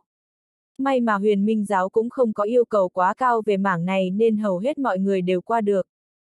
Ngô Bình ngồi xuống ghế, ngay sau đó đã có một nguồn sức mạnh như luồng điện tiến vào cơ thể anh, khiến người anh tê dần. Nhưng loáng cái, cảm giác tê liệt ấy đã biến thành cảm giác như bị côn trùng gặm xương. Anh ngày càng bứt rứt, hàng lông mày đã nhíu chặt. Cùng lúc đó, phiến ngọc trên chiếc phía trước chiếc ghế cũng đã hiện ra một dãy số đang liên tục tăng lên, mọi người đều tập trung quan sát đến không chớp mắt. 3 phút, 5 phút, 10 phút, nửa tiếng. Ngô Bình vẫn ngồi yên trên ghế, hơn nữa vẻ mặt như đang ngồi thiền, vô cùng bình tĩnh. Trời ơi, điểm vượt 100.000 rồi, sao chịu được hay vậy ta? Đúng thế, lúc trước tôi chỉ chịu được có 3 hơi thở thôi, nhưng điểm cũng được 1.500 rồi. Tôi được 3.000 đã thấy là mình giỏi lắm rồi, giờ so với ngô sư đệ thì đúng là kém cỏi. 120.000 rồi, vẫn đang tăng tiếp. Xem ra cậu ấy sẽ phá kỷ lục rồi, tôi nhớ điểm cao nhất trong lịch sử là 133.200. 133.200, cậu ấy phá kỷ lục rồi. Điểm của Ngô Bình đã chạm đến con số 150.000, anh mở mắt ra rồi mỉm cười, sau đó đứng dậy. Lúc này, mọi người xung quanh đều nhìn anh như một con quái vật. Ngô Bình đứng dậy nhìn điểm của mình xong thì cười nói, xem ra sức chịu đựng của mình cũng ổn. Cao Hải vỗ tay nói, quá đỉnh, cả ba vòng đều xuất sắc, chắc chắn cậu sẽ có tiền đồ rộng mở. Lúc này, Trương Siêu đang run cầm cập, khi Ngô Bình nhìn hắn, hắn cố nhoẻn miệng cười rồi nói, ban nãy tôi đùa thôi, chứ sao tôi dám khiêu chiến anh chứ. Ngô Bình mặc kệ hắn rồi đi về phía trình vệ, giờ chúng ta bắt đầu thôi. Tuy trình đệ rất chấn động, nhưng không hề sợ Ngô Bình. Dẫu sao cảnh giới tôi thể và luyện khí cũng có tranh lệch rất lớn, hắn ta không tin Ngô Bình có thể đánh bại mình. Hắn ta lạnh lùng nói, cậu tưởng sức mình mạnh, sức chịu đựng giỏi thì có thể khiêu chiến tu sĩ luyện khí à? Nhìn cho rõ đây. Hắn ta bay lên cao rồi tung một quyền vào cột kiểm tra sức mạnh, dãy số hiện ra là 130.000. Nhìn thấy điểm số của trình vệ xong, tất cả mọi người đều ồ lên. So với hơn số điểm trước đó của Ngô Bình thì kết quả của trình vệ đúng là đáng kinh ngạc. Nhưng tuy mọi người ồ lên là vậy, song chẳng ai thấy ngạc nhiên cả, dẫu sao trình vệ cũng là tu sĩ cảnh giới luyện khí rồi, thành tích này của hắn ta cũng chỉ là đủ tiêu chuẩn thôi. So ra thì sức mạnh của Ngô Bình mới đáng được gọi là xuất sắc. Ngô Bình nhìn điểm số xong thì nới, tốt nhất anh đừng phí sức làm gì, không lát nữa càng thua thảm hơn đấy. Trước khi tôi ra tay, anh vẫn còn một cơ hội. Trình vệ nhớn mày, sao, cơ hội gì cơ? Ngô Bình, dập đầu xin lỗi Vân Thường, sau đó tự vả vào mặt mình 30 cái, như vậy thì tôi sẽ không truy cứu nữa. Trình vệ nổi giận rồi lạnh giọng nói, cậu tưởng mình là ao hả? Ra tay đi, giờ tôi sẽ giết cậu luôn. Mọi người ở xung quanh lập tức tản ra, sau đó hào hứng xem Ngô Bình và trình vệ. Ở huyền minh giáo, đệ tử cấp thấp có thể khiêu chiến đệ tử cấp cao. Trình vệ này cũng là đệ tử thân truyền, nhưng đã là đệ tử chân truyền cấp 2 rồi nên có địa vị cao hơn Ngô Bình. Theo luật thì một khi Ngô Bình khiêu chiến thành công thì anh cũng sẽ trở thành đệ tử cấp 2. Thú vị đấy, một thiên kiêu mới vào, một đệ tử chân truyền cấp 2, mọi người đoán xem phần thắng sẽ nghiêng về ai. Lúc trước thì tôi nghĩ Ngô Bình chắc chắn sẽ thua, nhưng giờ thì chịu rồi. Đúng thế, sức mạnh và tiềm lực của cậu ấy đều rất khủng, sức chịu đựng còn phá cả kỷ lục, khéo cậu ấy lại tạo nên kỳ tích đấy. Nhưng trình vệ đã là cảnh giới luyện khí rồi, chân lực trong người mạnh lắm, dù cảnh giới tôi thể có mạnh đến mấy thì cũng khó mà chống lại chân lực được. Dưới sự theo dõi của mọi người, Ngô Bình thong thả đi tới đối diện trình vệ, khi còn cách hắn ta bảy bước, anh nói, trình vệ, nếu anh có thể tiếp được ba chiêu của tôi thì coi như anh thắng. Trình vệ ngẩn ra, ba chiêu. Nhưng sau đó hắn ta đã nổi giận ngất trời, cậu đang sỉ nhục tôi đấy à? Ngô Bình, thật ra tôi bảo ba chiêu là đánh giá cao anh rồi, chứ khéo anh còn chẳng đỡ nổi một chiêu của tôi đâu.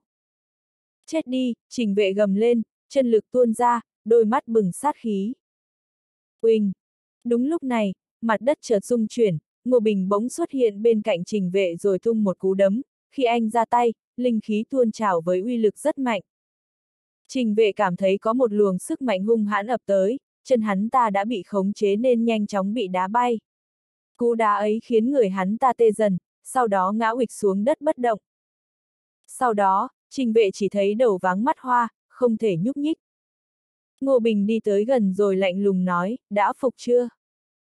Trình vệ hít sâu một hơi, cố mãi mới ngồi dậy được, sau đó ngẩng lên nhìn Ngô Bình rồi nói với vẻ chấn động, không thể nào. Sức như cậu mà là cảnh giới tôi thể ư. Ngô Bình thờ ơ nói, điều này chứng tỏ anh chẳng hiểu gì về sức mạnh cả. Dứt lời, anh mặc kệ hắn ta rồi kéo Vân Thường rời đi. Cao Hải cười nói, ngô sư đệ, ở lại đã.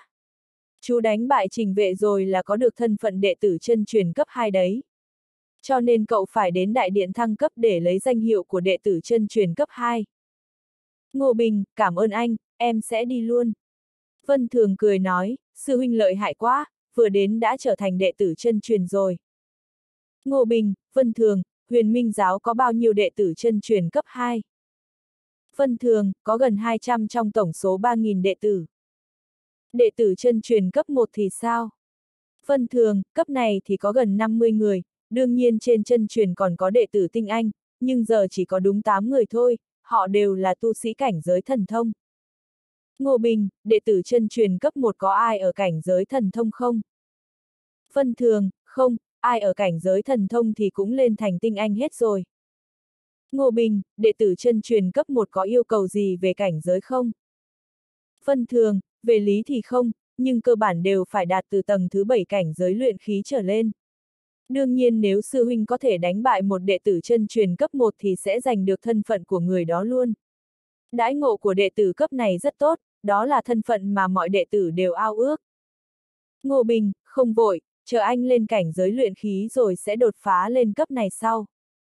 Trong lúc nói chuyện, họ đã đến đại điện thăng cấp. Ngô Bình đã trở thành đệ tử chân truyền cấp 2, sau khi đến đây, anh thấy trưởng lão phụ trách luôn nhìn mình với ánh mắt rất lạ. Ra khỏi đó xong, Ngô Bình hỏi, Vân Thường, tại sao trưởng lão kia nhìn anh lạ thế nhỉ? Phân Thường, vì đã mấy chục năm rồi không có đệ tử nào thăng cấp lên thành đệ tử chân truyền cấp 2 nhờ khiêu chiến vượt cấp, cho nên người ta mới thấy tò mò. Huyền Minh giáo còn có một quy tắc bất thành văn là đệ tử nào khiêu chiến vượt cấp thành công sẽ bị trả thù, sau đó liên tục bị các cường giả mạnh mẽ hơn khiêu chiến. Ngô Bình cao mày, liên tục bị khiêu chiến ư. Họ định làm gì vậy? Phân thường, chẳng đệ tử chân truyền nào muốn bị khiêu chiến, vì như thế là đụng đến lợi ích của họ. Vì vậy, có nhiều đệ tử chân truyền đã kéo bè kết phái, ai dám khiêu chiến người trong nhóm họ thì sẽ bị cả nhóm trả thù. Ngô Bình cười mỉa, tùy họ, anh không ngại cho thêm vài tên bị thương đâu. Vân Thường cười nói, em thấy cũng đúng, nhưng sư huynh vẫn phải cẩn thận, phòng người khác sở thủ đoạn. Huyền Minh giáo rất lớn nên cũng khá phức tạp. Ngô Bình, không phải lo, à chúng ta đi xem lò luyện đan bị hỏng kia đi. Hai người đi tới cửa hàng đồ cũ của huyền minh giáo, đây là sản nghiệp của môn phái, có rất nhiều đồ ở bên trong, đồ ở các vị trí khác nhau thì có giá khác nhau, đệ tử của huyền minh giáo đều thích đến đây tìm tòi. Khi Ngô Bình đến nơi thì nhìn thấy 12 cánh cửa lớn đều đang mở, liên tục có đệ tử của huyền minh giáo ra vào. Anh thoáng ngạc nhiên nói, cửa hàng đồ cũ này to thế. Vân Thường, vâng, bên trong có nhiều đồ quý phết đấy. Ngô Bình, đồ đạc trong đây đều từ đâu ra? Vân Thường, đệ tử của huyền minh giáo thường xuyên ra ngoài làm việc, đồ họ cướp được hầu hết đều bán cho nơi này. À, cửa hàng này cũng liên kết với bên ngoài nên nguồn hàng rất dồi dào. Nói rồi, cả hai cùng đi vào cánh cửa thứ tư, bên trong có lò luyện đan cũ mà Vân Thường từng nói. Họ vừa vào đã nhìn thấy rất nhiều giá hàng, giá nào cũng chất kín đồ.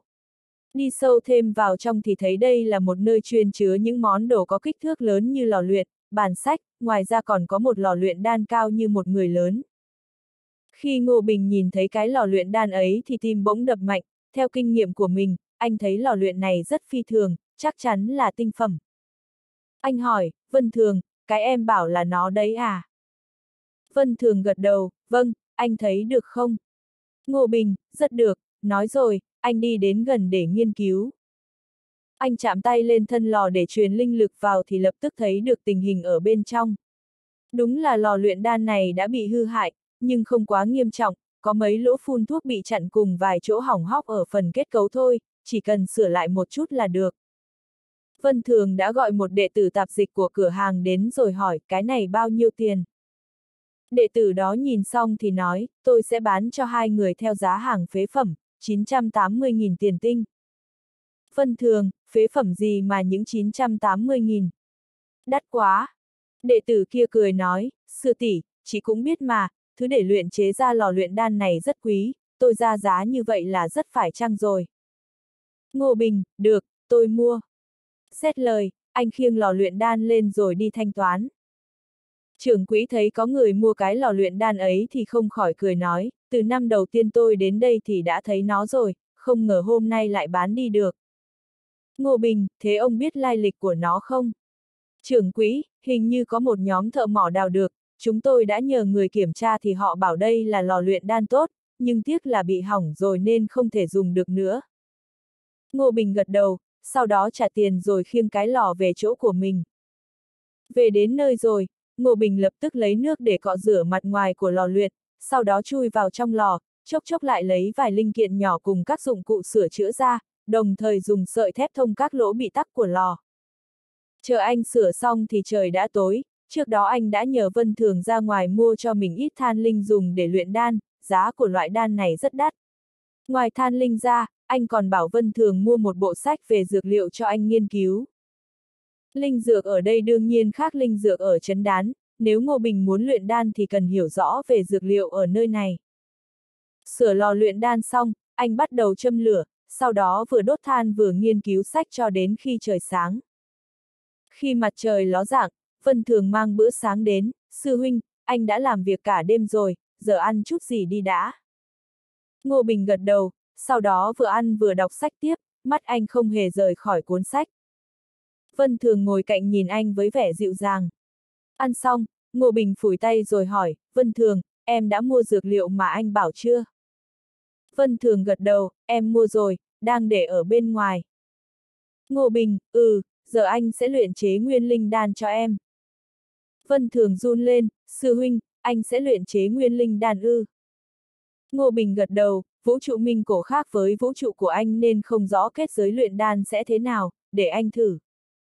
Lò luyện đan đã được đốt cả đêm, các tạp chất bên trong đã bị loại trừ hết.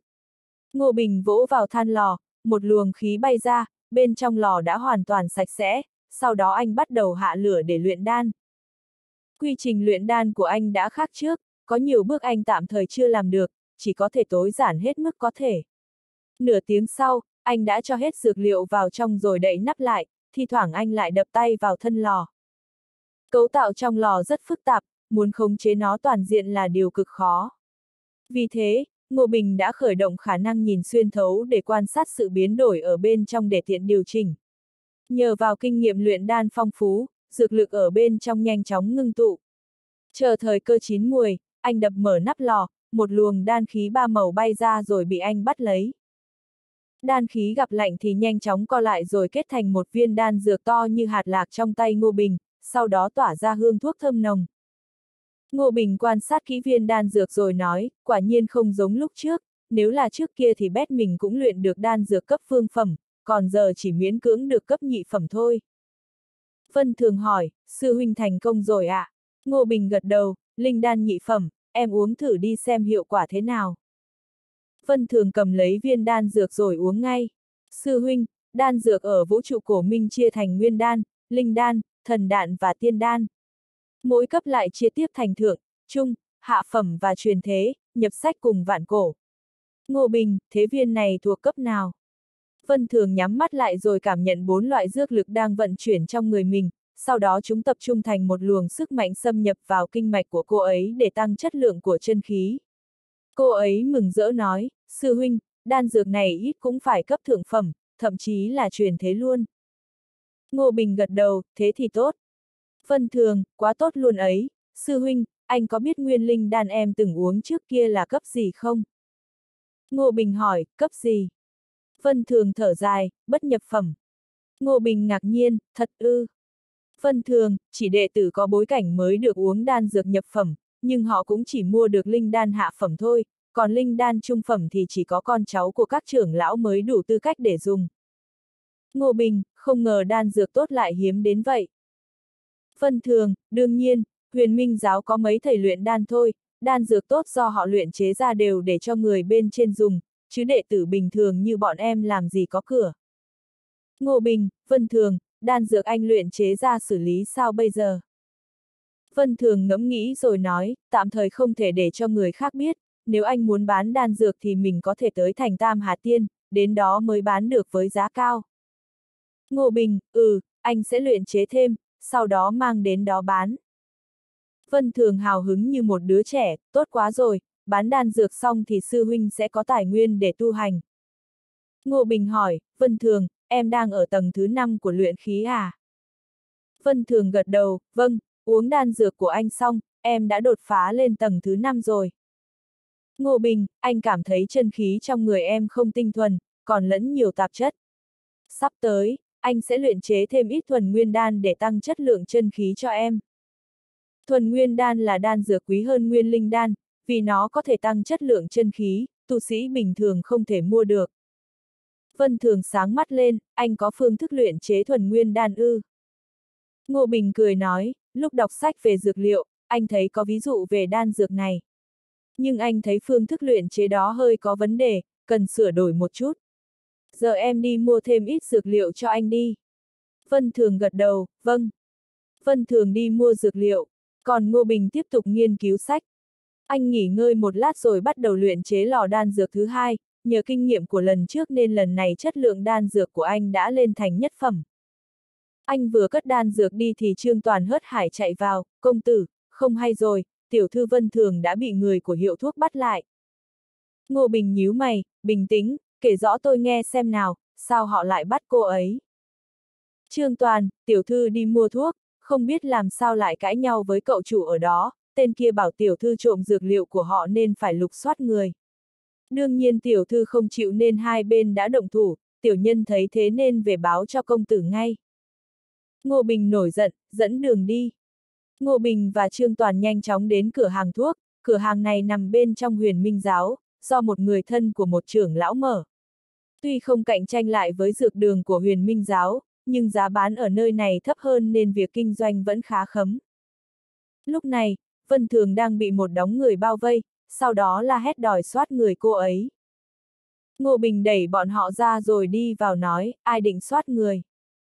Đám kia không dám nói gì, một người thanh niên trong số đó chừng mắt quát tôi, cô ta ăn cắp thuốc của tôi, tôi phải soát người.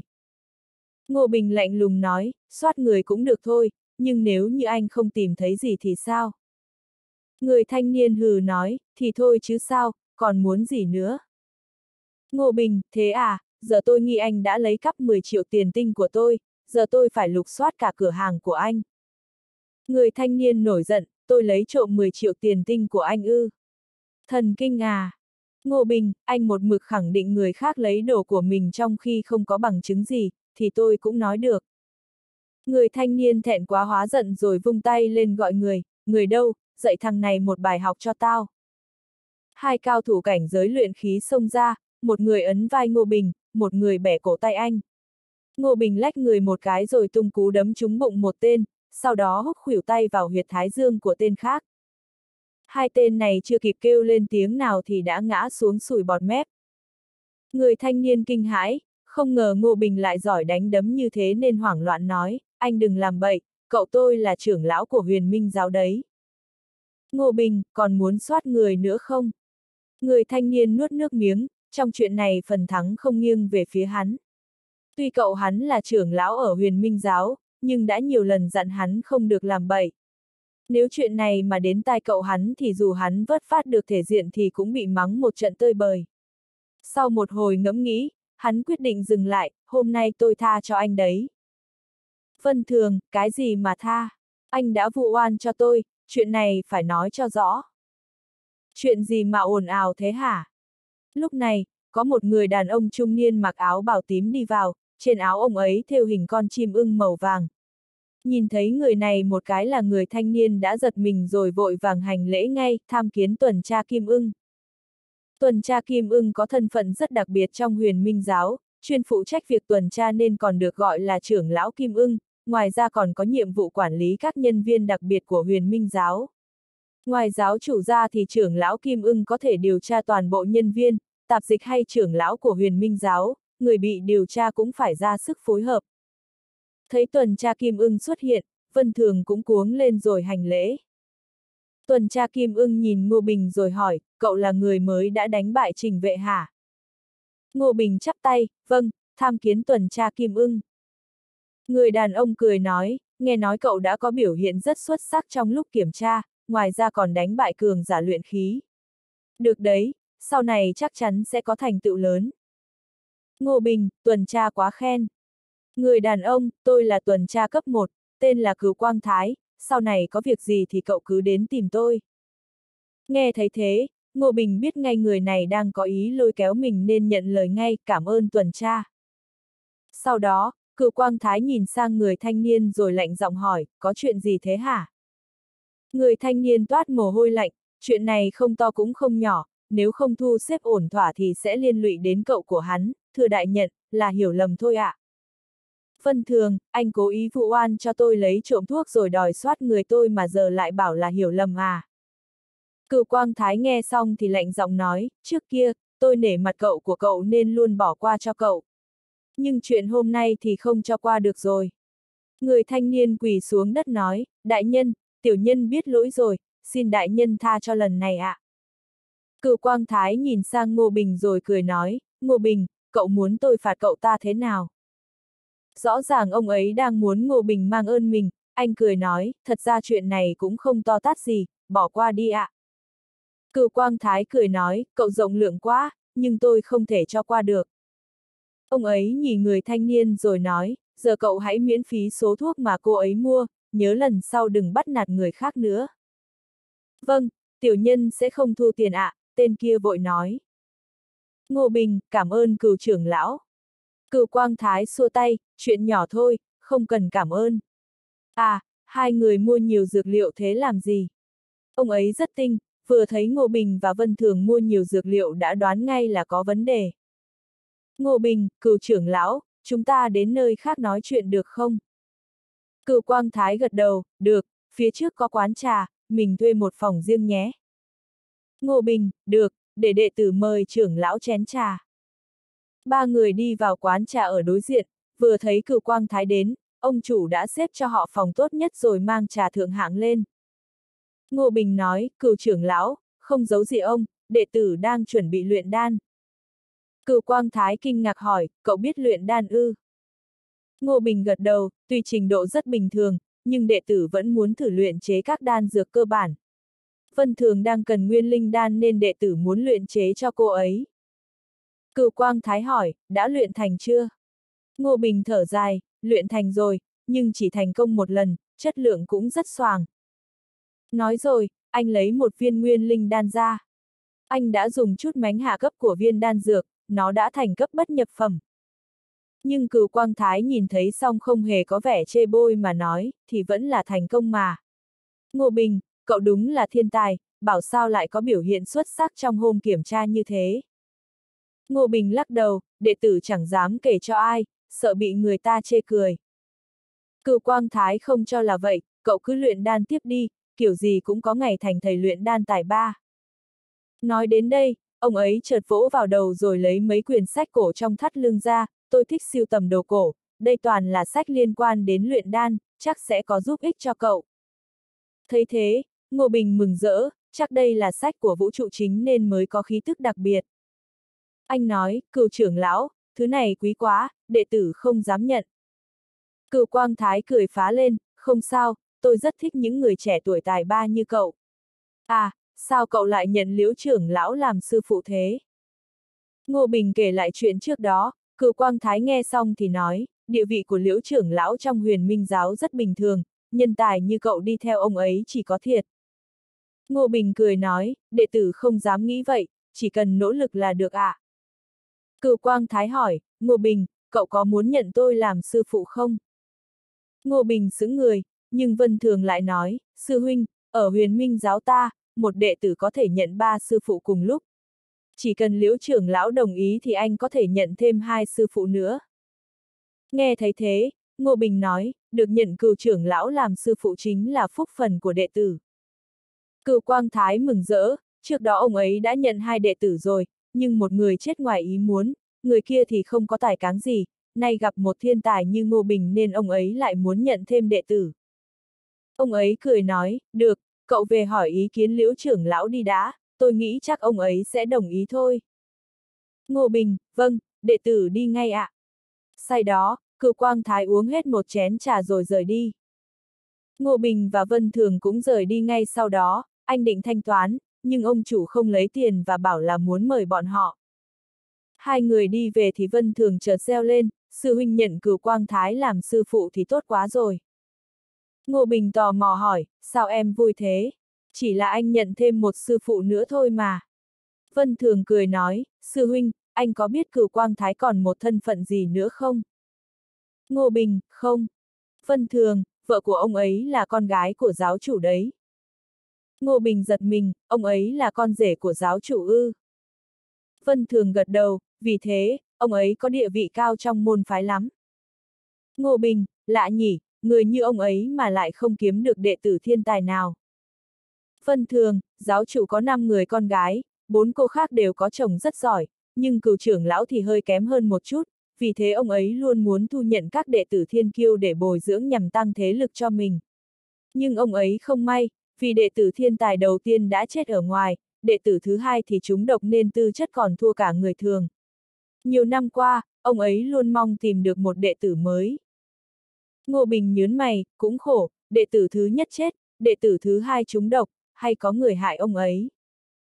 Vân thường, em không rõ, nhưng giáo chủ không có con trai mà chỉ có 5 người con rể, sau này muốn tìm người thừa kế huyền minh giáo thì khả năng cao sẽ chọn trong số này. Vì thế, thật ra 5 người con rể luôn có quan hệ cạnh tranh với nhau. Ngô Bình, là giáo chủ rồi thì sinh một đứa con trai đâu có khó. Vân Thường nhỏ giọng nói, nghe nói giáo chủ bị hiểm bùa nên con trai sinh ra đều chết hiểu. Ngô Bình ngẩn ra, bùa chú không thể sinh con trai ư. Vân Thường, em chỉ nghe kể lại thôi nên không rõ thực hư thế nào. Ngô Bình bật cười, nếu là bùa chú thì người hạ bùa này cũng vô vị thật. Vân Thường sư huynh, anh nhận cửu trưởng lão làm sư phụ rồi thì sau này sẽ có địa vị rất cao trong huyền minh giáo đấy. Ngô Bình, giờ anh đang cần tài nguyên tu luyện, đi theo ông ấy đương nhiên là tốt rồi. phân Thường, giờ cựu trưởng lão đang rất cần một đệ tử thiên tài để vớt phát thể diện, kiểu gì cũng ưu tiên tài nguyên cho anh. Ông ấy kiếm lắm đấy, nhiều trưởng lão và đệ tử đều bị ông ấy nắm thóp nên thu nhập của ông ấy khá lắm. Ngô Bình bật cười, xem ra ở đâu cũng thế nhỉ. Hai người nói chuyện thêm một lát thì Ngô Bình mang dược liệu mới đi luyện chế thuần nguyên đan. Nhờ những kinh nghiệm trước đó nên lần này, anh đã thuận tay hơn nhiều, thành quả là một lò đan dược nhất phẩm. Khi anh lấy một viên đan dược ra đưa cho Vân Thường, cô ấy gần như không dám tin vào mắt mình rồi lẩm bẩm, không ngờ trong đời em lại được uống đan dược tốt thế này. Ngô Bình, gì đến mức ấy, có một viên đan dược thôi mà. Vân Thường thở dài nói, anh không biết đấy thôi, đệ tử cấp thấp như bọn em chỉ được uống đan dược bất nhập phẩm, nhưng toàn phải làm việc gian khổ nhất, đã thế còn hay bị đệ tử khác bắt nạt. Ngô Bình, sau này sẽ khác, có anh rồi thì em sẽ được sung sướng. Vân Thường phì cười, xem ra số em cũng hên ra phết. Ngô Bình, đương nhiên, làm người phụ nữ của anh thì sao mà khổ được. Chắc chắn em sẽ là người hạnh phúc nhất trên đời. Vân Thường liếc anh một cái, vâng vâng, nhờ anh cả. Ngô Bình ôm cô ấy vào lòng rồi nói, Vân Thường, anh sẽ biến em trở thành nữ đệ tử giỏi nhất ở huyền minh giáo. Vân Thường cười hỏi, tại sao không phải là đệ tử giỏi nhất, mà lại là nữ đệ tử? Ngô Bình, vì đệ tử giỏi nhất là anh, em chỉ xếp thứ hai thôi.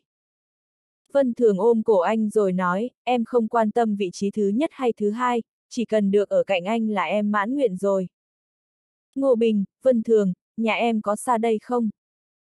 Vân Thường, không xa lắm, khoảng hơn 3.000 dặm thôi, nhưng nửa năm em chưa về nhà rồi. Ngô Bình, đâu có xa đâu mà em không thường xuyên về nhà. Vân Thường thở dài, bố không thích em, vì em đã làm trái hôn sự mà bố sắp xếp. Ngô Bình, hôn sự của em ư, bố em bắt em lấy người mà em không thích à? Vân Thường, nếu chỉ là lấy người em không thích thì em vẫn cố lấy được, dẫu sao cũng là sống với ai đó cho qua ngày thôi, không thích vẫn có thể ở với nhau được. Nhưng đây bố lại bắt em lấy một tà tu, hay còn được gọi là độc lang quân. Độc lang quân này còn cay độc hơn cả cái tên, mỗi tháng anh ta đều lấy một người vợ rồi hạ độc chết người ta. Theo em biết thì đã có hơn 100 cô gái xấu số chết trong tay anh ta rồi. Ngô Bình nghe xong thì nổi giận, bố em không biết những chuyện này à? Vân Thường cười buồn, sao lại không biết? Bố biết rõ nhưng vẫn bắt em đấy, cũng chỉ để lấy một viên hóa độc đan cho anh trai em. Ngô Bình, anh trai em bị trúng độc à mà cần đan dược này. Vân Thường gật đầu, ngày xưa, anh trai em có tư chất rất tốt, từng là đệ tử thiên tài của huyền minh giáo. Nhưng sau một lần đi vào rừng độc hái thuốc đã bị người ta đánh. Người đó đã cướp áo chống độc của ớt anh ấy nên chất độc trong rừng đã ngấm vào da của anh em, khiến anh ấy bị trúng độc. Chờ khi anh ấy ra khỏi rừng thì đã hấp hối rồi, nhiều năm qua, bố em nghĩ mọi cách để giải độc cho anh ấy. Nghe nói độc lang quân có đan dược chữa trị, bố em định đưa em đến để đổi. Ngô Bình lắc đầu, bố em cũng thật là. Phân thường, bố luôn nghĩ em sớm muộn cũng đi lấy chồng nên lấy ai cũng được. Ngô Bình, anh có thể luyện chế được hóa độc đan, không cần xin tên độc lang quân kia đâu. Vân Thường sáng mắt lên, thật ạ. À? Ngô Bình gật đầu, ừ, nhưng anh cần đến khu rừng độc kia để hái ít dược liệu. Vân Thường, không vội, anh trai em trúng độc nhiều năm chứ không phải vài ba ngày. Sư huynh, anh cứ tu luyện để tăng thực lực trước đi. Ngô Bình, chuyện này dễ mà, anh cần nghĩ cách xin ý kiến của liễu trưởng lão đã, không thì sẽ khiến người khác nghi ngờ. Vân thường, trưởng lão có một hóa thân mà, bảo hóa thân trả lời thư cũng được. Chờ anh thành đệ tử của cửu quang thái rồi là ổn hết. Ngô Bình, ừ. Dứt lời, anh lấy một phong thư ra rồi viết lên đó, anh đang viết cho liễu trưởng lão, nói mình muốn nhận cửu quang thái làm sư phụ, hy vọng ông ấy sẽ ủng hộ. Viết xong, Ngô Bình bảo Trương Toàn mang thư đi gửi. Vài phút sau, hóa thân của Ngô Bình ở vũ trụ chấn đán mở mắt ra, bên ngoài có người gõ cửa nói, trưởng lão liễu, huyền minh giáo gửi thư đến, có gửi cho người. Đem vào đây, ông ta nói. Có người đẩy cửa bước vào đưa thư Ngô Bình viết cho ông ta. Hóa thân nhìn thoáng qua rồi lạnh nhạt nói, Ngô Bình muốn nhận truyền sư thứ hai làm sư phụ, đây là chuyện tốt. Cậu trả lời lại cho cậu ấy giúp tôi. Vâng. Người đó lập tức ra ngoài, nhanh chóng gửi thư đi. Không lâu sau, Ngô Bình nhận được thư phản hồi, là viết thay chứ không phải chữ viết của trưởng lão liễu. Cầm lấy lá thư, Ngô Bình cười nói, bây giờ thì chắc chắn rồi. Nói với Vân Thường một tiếng, Ngô Bình bắt đầu nghiên cứu vài cuốn sách từ vũ trụ chính đó. Anh mở một trong những cuốn sách đó, có tên là Tinh túy bí mật của đan đạo, tác giả của cuốn sách tên là Tổ sư Sâm Huyền. Mở trang đầu tiên ra, đó là trang mục lục, cuốn sách này chủ yếu ghi lại nguyên tắc luyện đan và kỹ thuật thao tác cụ thể. Anh chỉ đọc lướt qua đã biết sư tổ Sâm Huyền này không tầm thường. Vừa bắt đầu đọc là anh chìm đắm mình vào trong đó, không biết qua bao lâu mãi đến khi giọng của Vân Thường vang lên bên tai, anh bước ngẩng đầu lên khỏi sách. Sư huynh, trời sắp sáng rồi, nghỉ ngơi một chút đi. Ngô Bình nhìn ra ngoài cửa sổ, quả nhiên trời đã hửng sáng. Tâm trạng anh rất tốt, cười nói, Vân Thường, quyển đan kinh này quả thật là đồ tốt, nội dung bên trong không chỉ có thể áp dụng cho vũ trụ chính mà còn hữu ích với vũ trụ đạo giới. Vân Thường cười nói, đồ mà trưởng lão cửu quang thái cho thì dĩ nhiên là không tầm thường rồi. Ngô Bình lật đến trang kế tiếp, cười nói, ở đây có một phương thuốc, không biết anh có thể luyện chế phương thuốc của vũ trụ chính không? Vân Thường ghé sát lại nhìn, thấy đan này tên là tử ngọ ôn thần đan, cần dùng 27 loại dược liệu luyện chế, thời gian luyện chế phải là buổi trưa, thời gian uống phải là giờ tí. Cô ấy nói, sư huynh, nếu đã là phương thuốc của vũ trụ chính thì phải dùng dược liệu của vũ trụ chính mới phải. Ngô Bình gật đầu, đúng thế, nhưng đạo lý luyện đan đều giống nhau, tôi chỉ cần tìm được 27 loại dược liệu tương tự là có thể luyện chế được tử ngọ ôn thần đan phiên bản vũ trụ minh cổ rồi.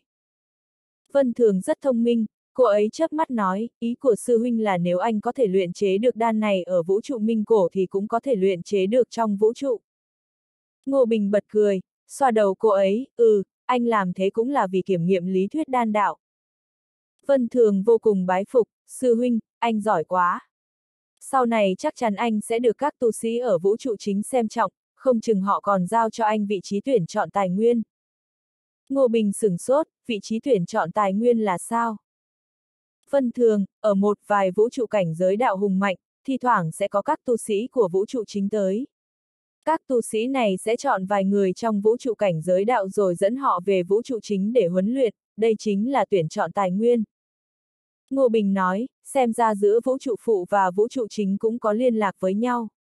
Nhưng anh không cần bất kỳ vị trí tuyển chọn gì cả, anh sẽ đến vũ trụ chính bằng chính thực lực của mình, anh nghĩ trên đời không có bữa ăn nào miễn phí cả, đằng sau đó có thể ẩn chứa những hiểm họa khôn lường. Vân Thường cười nói, ừ, sư huynh đúng có là khả năng này. Ngô Bình đứng dậy đi đến trong sân, định thư giãn gân cốt một chút. Anh đã luyện hai lần quyền rồi, mặt trời cũng đã lên cao. Đang định đi nghỉ ngơi thì có người đến gõ cửa, Trương Toàn vội mở cửa ra. Một tu sĩ trẻ tuổi bước vào, anh ta cười nói, tôi là Văn Lương, đến tìm sư đệ. Văn Lương là đệ tử thứ hai của trưởng lão Liễu, có quan hệ rất rộng, lần trước anh ta mời Ngô Bình tham gia tiệc nhưng Ngô Bình không đi. Nghe nói có người đến, Ngô Bình đứng lên, chắp tay nói, chào sư huynh Văn. dáng người Văn Lương không cao, vẻ ngoài rất nho nhã, mặc một bộ trường bào màu xám, anh ta cười nói, sư đệ, lần trước anh đến mời cậu thì cậu không ở nhà, lần này cuối cùng cũng gặp được. Ngô Bình nói, không biết sư huynh có gì dặn dò. Văn Lương cười nói, sư đệ, mấy anh em bọn anh đã hẹn gặp nhau ở chỗ đại sư huynh vào buổi sáng, anh đến báo với cậu một tiếng. Ngô Bình không muốn tham gia nhưng nghe ra ý của Văn Lương là không tham gia thì không được nên anh bèn nói, sư huynh, tôi còn có việc e là không thể tham gia rồi. Văn Lương nói, sư đệ, cậu không giữ chút thể diện nào cho anh luôn à? Vân Thường nói, sư huynh Văn, sư huynh Ngô Bình đã nhận cửu quang thái của tuần tra Kim ưng làm thầy, em nghĩ anh ấy không cần đến tham gia bữa tiệc của các anh đâu. Chỉ có vài người trong số họ biết chuyện cửu quang thái nhận Ngô Bình làm đồ đệ của mình, người ngoài không hề biết chuyện này. Lúc này Vân Thường nói chuyện này ra, Văn Lương không khỏi ngạc nhiên, gì cơ? Trưởng lão cửu đã nhận cậu làm đệ tử à, anh ta nhìn chằm chằm Ngô Bình. Ngô Bình gật đầu, vâng, đúng thế thưa sư huynh Văn. Văn Lương thở dài, nghe nói kết quả kiểm tra của cậu khiến người khác cảm thấy rất kinh ngạc, trưởng lão cửu nhận cậu làm đồ đệ cũng chẳng có gì lạ. Nếu đã thế, anh không làm phiền cậu nữa, anh đi trước đây.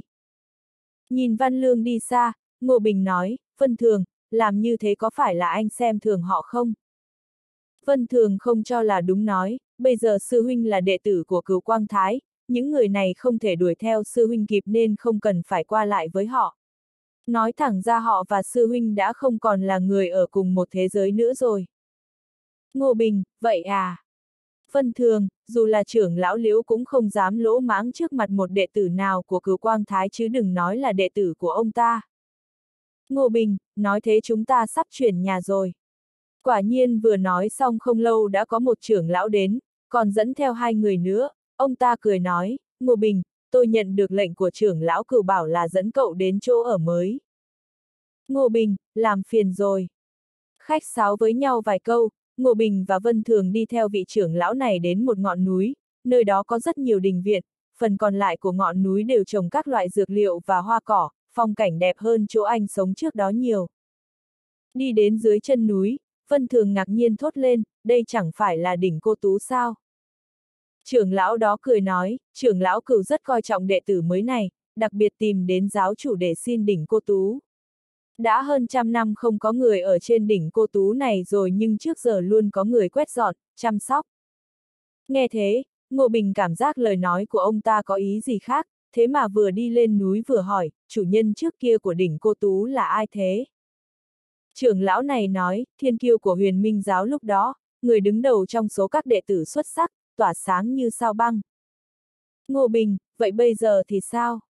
Vân Thường nói, anh ta không được may cho lắm, vừa mới trỗi dậy đã chết, chết trong cấm địa đại hoang. Năm đó anh ta rất có tiếng, ngay cả giáo chủ tiền nhiệm cũng rất xem trọng anh ta đã chuẩn bị nhận anh ta làm con rể. Kể từ sau khi anh ta chết, không còn ai sống ở đỉnh cô Tú nữa. Ngô Bình lập tức hiểu ra người này quá mức tài giỏi, dẫn đến đã gây áp lực rất lớn cho những người chuyển đến sau đó. Nếu ai chuyển vào ở khó tránh khỏi bị so sánh với người tiền nhiệm. Nghĩ đến đây, anh lắc đầu, sư tôn làm vậy khác nào đẩy mình vào chảo lửa chứ? Audio điện tử võ tấn bền. Hết tập 146